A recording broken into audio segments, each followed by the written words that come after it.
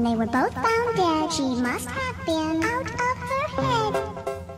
Phần lớn các bạn đều biết đến bộ phim hoạt hình Carrot chú chó nhút nhát và đó là một bộ phim khá đáng sợ đối với mình. Và sẽ thế nào nếu như mình nói rằng bộ phim Carrot chú chó nhút nhát được lấy cảm hứng từ những sự kiện kỳ bí có thật? Courage là một chú chó sống với một cặp vợ chồng tại một ngôi nhà ở giữa thị trấn Nowhere, một thị trấn hư cấu tại Kansas, nước Mỹ. Trong mỗi tập phim thì cả ba đều trải qua những cuộc phiêu lưu có phần kỳ quái, thường sẽ liên quan đến những hiện tượng siêu nhiên kỳ bí. Bộ phim này nổi tiếng vì sự hài hước pha trộn với kinh dị. Courage là một chú chó có vẻ như nhút nhát, nhưng lúc nào nó cũng là một nhân vật giải cứu hai người chủ khỏi nguy hiểm. Và ngôi nhà mà ba nhân vật này sống thực chất được lấy cảm hứng từ một ngôi nhà ma ám mà chính tác giả đã gặp phải tại Quebec, Canada. Chưa hết, cảm hứng để sáng tạo ra ba nhân vật này cũng được dựa trên một sự kiện kỳ bí có thật đã xảy ra với một cặp vợ chồng người Mỹ. Họ chỉ nuôi duy nhất một chú mèo, thế nhưng vào một đêm nọ thì họ đã đột nhiên biến mất để lại tất cả những tài sản, kể cả chú mèo của gia đình. Muốn biết cụ thể câu chuyện như thế nào thì hãy cùng mình tìm hiểu nhé. Một trong những bí ẩn lâu đời nhất tại Texas, nước Mỹ chính là vụ mất tích của cặp vợ chồng William và Margaret Patterson.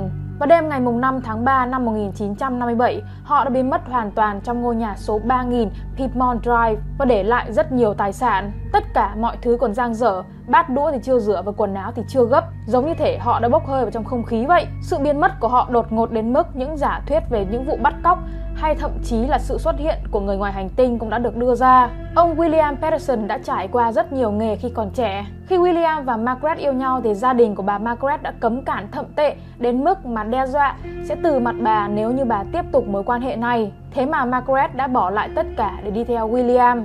Hai người từ bàn tay trắng cùng nhau mở một tiệm chụp ảnh và phất lên nhanh chóng. Sau nhiều năm thì họ đã trở thành những người có tiền và có quyền nữa. Vào năm 1957 là khi William 52 tuổi và người vợ Margaret 42 tuổi thì họ đã sở hữu một chiếc cano, một chiếc xe Cadillac và nhiều cổ phiếu trong một công ty lớn. Và vào năm 1957 thì đó thực sự là một khối tài sản cách xù. Khi không thấy cặp vợ chồng ra ngoài trong vòng nhiều ngày thì hàng xóm của họ đã báo cảnh sát. Và khi cảnh sát ập vào nhà thì họ vẫn còn thấy thức ăn và bát đĩa chưa rửa từ đêm hôm trước vẫn còn nguyên trong bồn rửa. Quần áo đắt tiền của cặp vợ chồng vẫn được gửi tại tiệm giặt ủi, thư thì vẫn được đưa đến hàng ngày. Và đặc biệt là chú mèo của người vợ Margaret vẫn còn ở đó, nó đang kêu gào thảm thiết đòi ăn. Mặc dù có rất nhiều nghi vấn đặt ra xung quanh vụ mất tích của gia đình nhà Patterson, nhưng cảnh sát vẫn không thể tìm ra bất cứ thông tin nào về họ nữa. Vào ngày 27 tháng 3 năm 1964, 7 năm sau khi họ mất tích, thì vợ chồng nhà Patterson chính thức bị tuyên bố đã chết Vụ án chìm vào dĩ vãng cho đến tận 20 năm sau, tức là năm 1984. Có một người đàn ông nói rằng vào thời điểm vụ mất tích xảy ra thì ông ta đã nhìn thấy một vệt máu trong gara để xe nhà William và thậm chí là trong chân vịt chiếc cano của gia đình thì ông ta tìm thấy một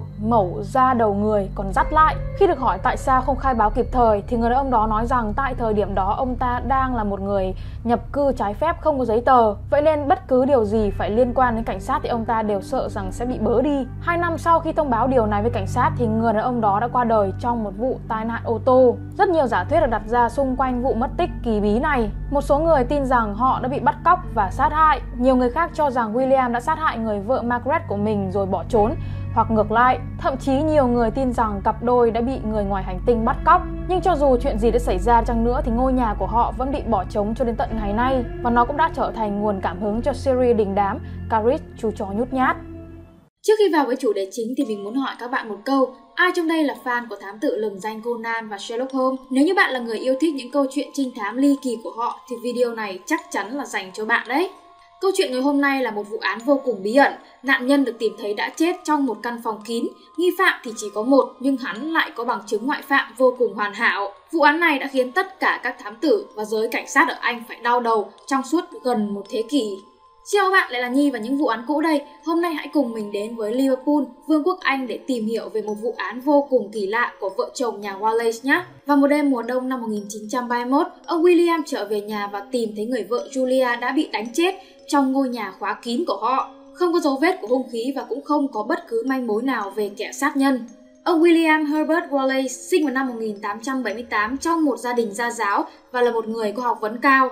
Năm 1911, năm William 33 tuổi, thì ông gặp gỡ và quen biết với bà Julia Dennis, một nghệ sĩ piano tài ba. Ba năm sau là vào tháng 3 năm 1914 thì họ kết hôn với nhau. Về độ tuổi của bà Julia thì vẫn còn là một ẩn số. Nhiều báo cáo cho rằng bà Julia sấp xỉ tuổi với ông William. Nhưng mãi về sau này thì một nhà báo đã tìm được giấy khai sinh bản gốc của bà Julia, chứng minh rằng bà ấy hơn ông William những 17 tuổi.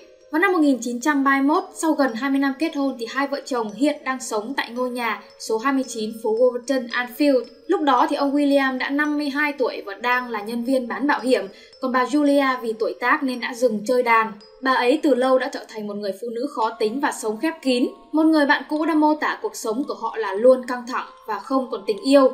Trước đó thì ông William đang là thành viên của một câu lạc bộ cờ vua, có ông Samuel là đội trưởng. Mặc dù là thành viên của câu lạc bộ đã lâu nhưng ông William chưa bao giờ tới dự một trận đấu nào. Vào tối thứ hai ngày 19 tháng 1 năm 1931, đội trưởng Samuel nhận được một cuộc gọi từ một người đàn ông tự xưng là RM Control. Ông này gọi tới số máy của câu lạc bộ và muốn hẹn gặp William ở địa chỉ số 25 đường phía đông Melove Garden vào 7 giờ 30 phút tối ngày mai.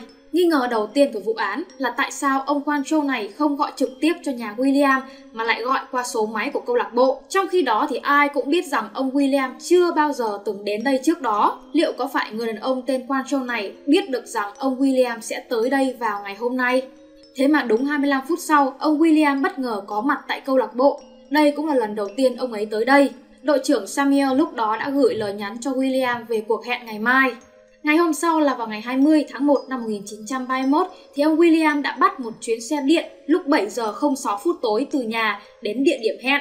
Từ thời điểm này thì ông William liên tiếp có những hành vi vô cùng kỳ lạ, giống như là muốn thu hút sự chú ý của mọi người xung quanh vậy.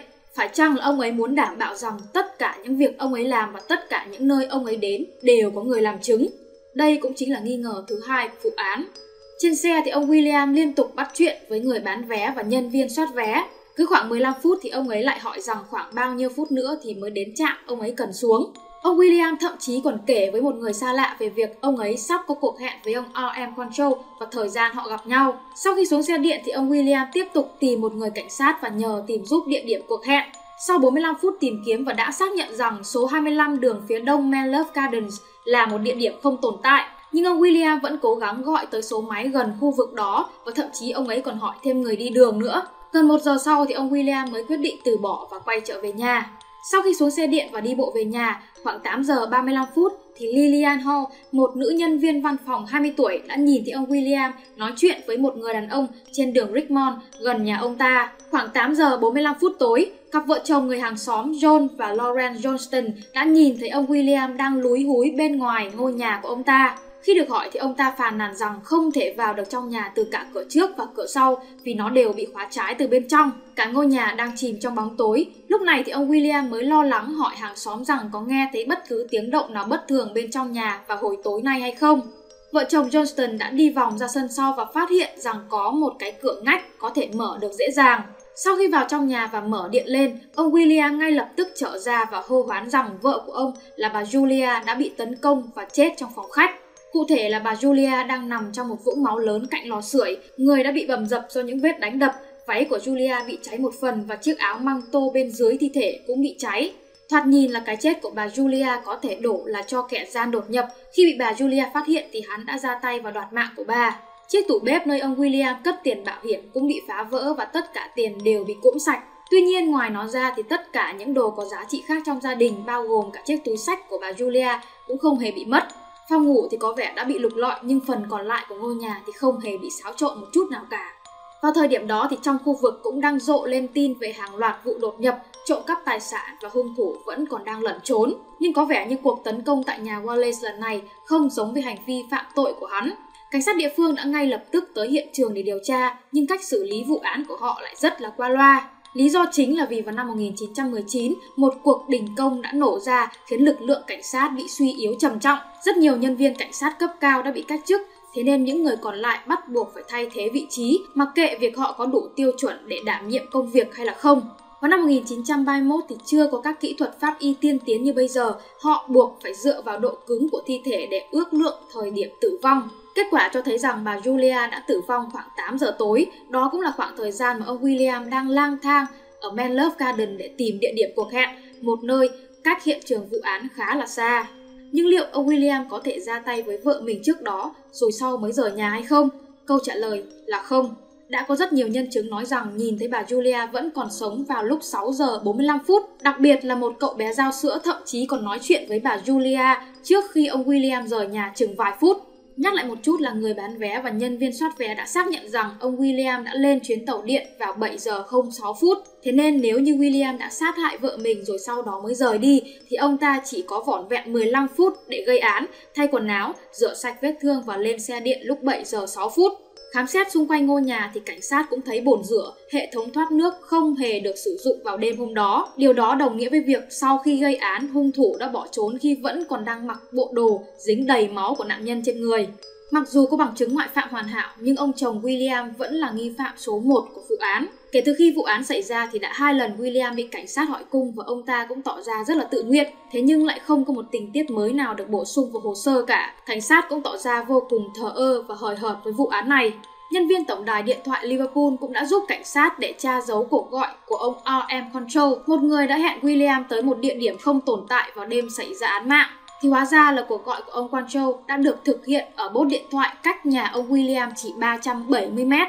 Và điều quan trọng là nó nằm ngay ở trạm xe, nơi William có thể ngay lập tức bắt xe và đi tới câu lạc bộ vào đêm đó. Mặc dù là người đội trưởng Samuel, người đã nhận cuộc gọi cam đoan rằng người ở đầu dây bên kia không phải là William, thế nhưng mà cảnh sát vẫn nghi ngờ rằng người đàn ông có tên là Quancho kia và William là một tức là ông William đã cố tình tạo ra một nhân vật giả mạo để người khác làm chứng cho lý do ông ta đã không có mặt ở nhà vào đêm xảy ra vụ án.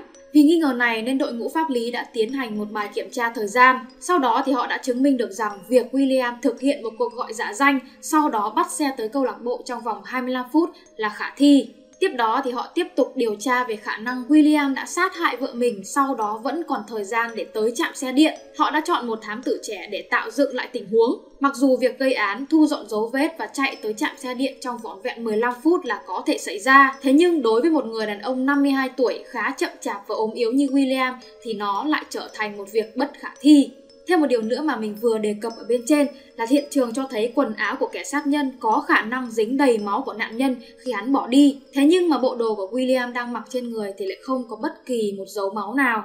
Về việc này thì cảnh sát đã đưa ra giả thiết rằng chiếc áo măng tô được tìm thấy bên dưới thi thể của bà Julia có thể được dùng để che chắn khi ông William gây án. Xong việc thì ông ta đã đốt chúng đi như một cách để tiêu hủy vật chứng. Mặc dù là vẫn còn rất nhiều điều mập mờ trong vụ án này, thế nhưng ngày 22 tháng 4 năm 1931 thì ông William Wallace vẫn bị kết tội giết người trong một phiên tòa ngắn. Ông ta đã bị kết án tử bằng cách treo cổ. Thế nhưng mà điều khiến tất cả mọi người trong phiên tòa phải ngạc nhiên đó là kể cả sau khi đã bị kết án tử thì ông William vẫn điềm tĩnh một cách vô cùng kỳ lạ. Tuy nhiên thì chỉ một thời gian ngắn sau đó, tòa phúc thẩm ở London đã kết luận rằng không đủ bằng chứng để buộc tội William. Tất cả mọi cáo buộc bị bác bỏ và ông ấy cũng được thả tự do ngay sau đó. Sau tất cả mọi chuyện thì ông William đã được chuyển tới một ngôi nhà mới, thế nhưng chỉ 2 năm sau thì bệnh cũ của ông ấy lại tái phát. William Wallace qua đời vào ngày 26 tháng 2 năm 1933 và được chôn cất cùng với phần mộ của vợ mình. Và dĩ nhiên sau cái chết của William thì vụ án của Julia Wallace cũng trở thành một bí ẩn. Cho đến tận bây giờ là 91 năm đã trôi qua thì vụ án giết người bất khả thi này vẫn là một trong những vụ án vô cùng bí ẩn trong lịch sử tội phạm của Liverpool, Vương quốc Anh.